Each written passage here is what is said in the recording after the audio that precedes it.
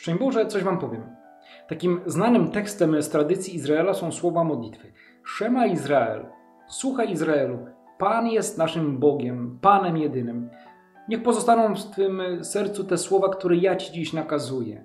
Wpoisz je Twoim synom, będziesz o nich mówił, przebywając w domu, w czasie podróży, kładąc się spać i wstając ze snu. Przywiążesz je do Twojej ręki jako znak. Niech one Ci będą ozdobą przed oczami.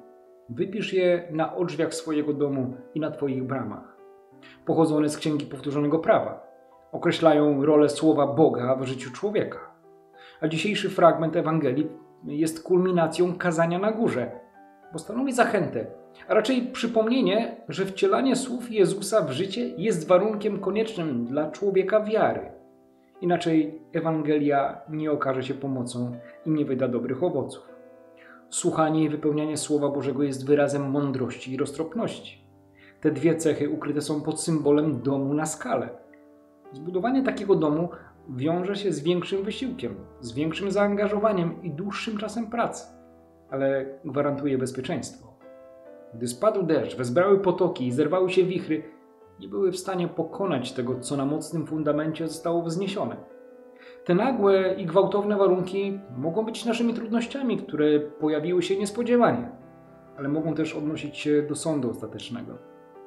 Dobry fundament, jakim jest Słowo Boże, nie tylko nie pozwala runąć człowiekowi, ale nawet upaść, choć życie może nami targać.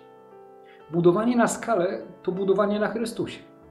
Jeżeli będę znał Jego naukę, to w konsekwencji będę chciał stosować ją w praktyce. Praktykując ją na co dzień, będę miał solidne oparcie. Ale może się okazać, że znajomość pisma, piękne mówienie o Bogu czy wzniosła modlitwa sprawią, że człowiek usłyszy od Jezusa: Nie każdy, kto mi mówi, Panie, wejdzie do Królestwa Bożego. Dlaczego? Bo jeżeli to, co mówimy, nie pokrywa się z życiem, to znaczy, że jest to tylko jakiś miraż. Dziadkowie nasi mawiali o takich ludziach: modli się przed figurą, a diabła ma za skórą.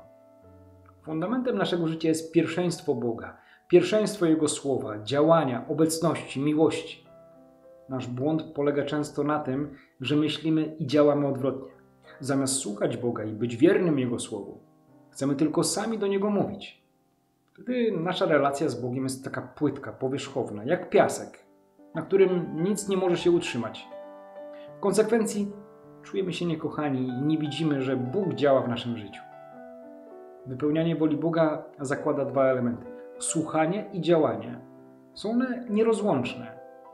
Nie jest łatwo słuchać tak, żeby zrozumieć, o co tak naprawdę chodzi rozmówcy. Jednak wypełnianie słów jest jeszcze trudniejsze.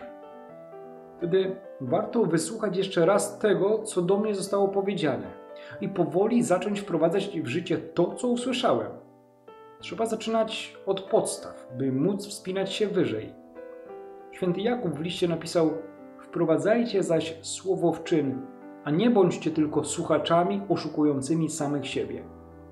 Współpracując z Bożym planem, prośmy o odwagę wiary, by Jezus wyciszał nasze burze i wichry oraz by to On był naszym prawdziwym fundamentem.